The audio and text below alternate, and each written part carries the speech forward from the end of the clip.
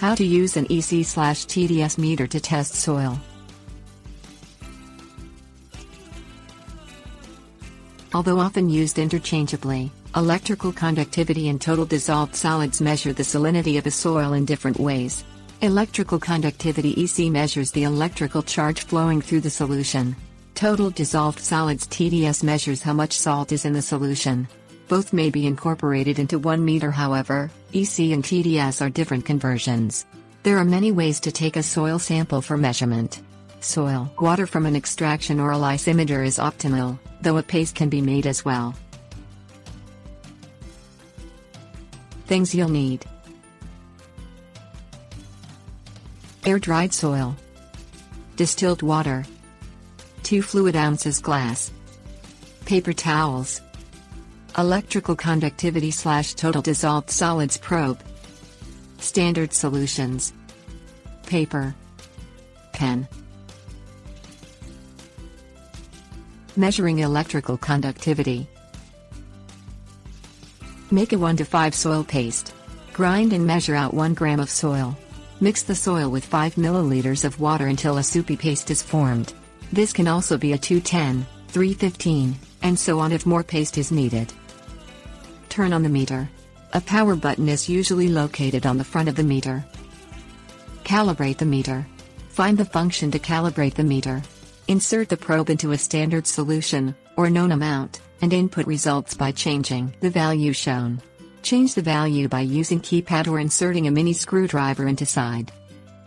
Clean the probe. After every calibration, the probe should be rinsed with distilled water and blotted dry. Insert probe into paste. On the tip of the probe, there will be a line. The paste should cover up the tip to this line so that the electrodes are immersed. Take a reading. Wait for the reading to stabilize. Many meters will measure the temperature of the paste for automatic temperature correction ATC. If ATC is not available, there will be a knob to compensate for the temperature. Record the results. Electrical conductivity is measured in microsiemens per centimeter S/cm. Measuring total dissolved solids. Turn on the meter. If the meter is not a combination EC/TDS meter, then power up a meter that measures TDS.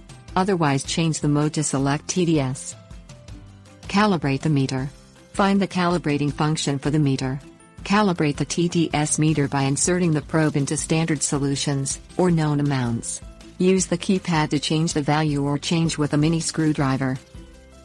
Clean the probe. After every sample, the probe should be rinsed with distilled water and blotted dry. Take a sample reading. Submerge the tip of the probe into soil solution until the tip and electrodes are fully covered with sample. Record the results. Wait for the meter to stabilize and record the results shown. The results will be measured in parts per million ppm.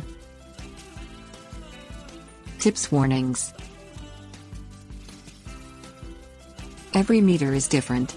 Get familiar with functions and modes of the meter before using. If the meter is not properly calibrated, then the results shown may not be accurate.